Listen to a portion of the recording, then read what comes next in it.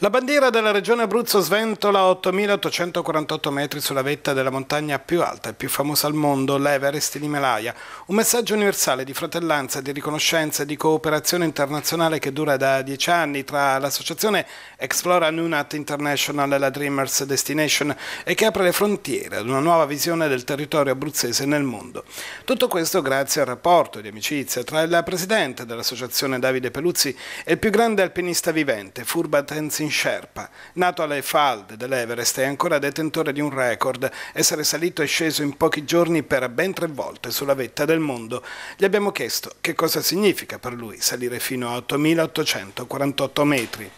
Just one question. Which sensation, emotion to reach the summit of Everest for you? With, with emotion. Uh, uh -huh.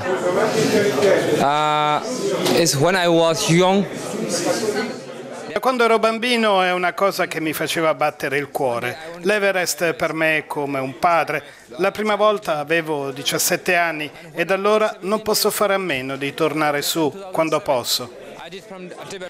Furba Tenzin Sherpa ha anche ricevuto per questa sua impresa una lettera d'encomio della regione Abruzzo scritta di proprio pugno dalla Presidente Marco Marsiglio. E intanto, a breve, nell'ottica del rapporto di amicizia e collaborazione, il grande dono di Furba sarà ben ricambiato con una missione del team Explora The Skyways to Sagamarta Everest, con partenza il 19 ottobre e che prevede la costruzione del rifugio più alto dell'Himalaya, a 5.800 metri, in sinergia tra Austria, Italia, Nepal e la realizzazione della via ferrata che metterà in sicurezza il secondo tratto per raggiungere il bivacco oggetto di interesse non solo alpinistico umanitario, ma soprattutto di ricerca scientifica. Questa costruzione se andrà tutto a buon fine, se sarà super positiva, avrà dei grandi risvolti per quello che riguarda la, la, la, in primis come rifugio, come riparo, ma soprattutto per la ricerca scientifica nel campo della fisiologia umana e nel campo della meteorologia, della comprensione delle dinamiche climatiche, perché siamo proprio all'interno del, del, del, del, flusso dei jet stream, delle grandi correnti